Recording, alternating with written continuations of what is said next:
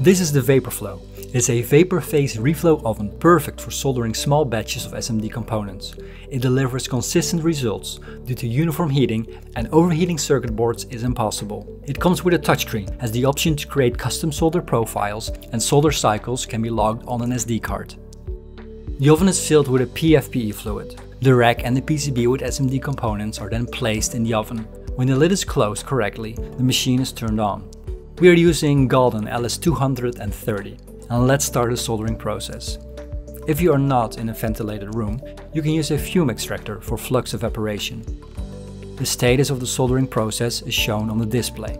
The set point temperature and the actual temperature, the status of the machine, heating or cooling, with a percentage indicating the duty cycle. Whether an SD card is detected, which can be used to log the soldering process as a CSV file, and the temperature of the oven. Small convection and infrared ovens need to directly heat the air or the heat needs to pass through the components. The temperature needs to be set much higher than the melting temperature of the soldering paste, which can cause components to overheat.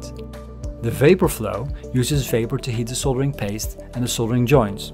Vapor ensures uniform heating and has a much better heat transfer, allowing the process to happen at a lower temperature.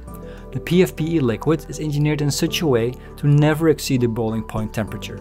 This prevents the components from overheating. When the machine has cooled down and the soldering process is completed successfully, the PCB can be removed from the oven. The components are properly aligned on the pads, no plastic is molten, there are no tin spots and no tombstoning has happened with any of the components.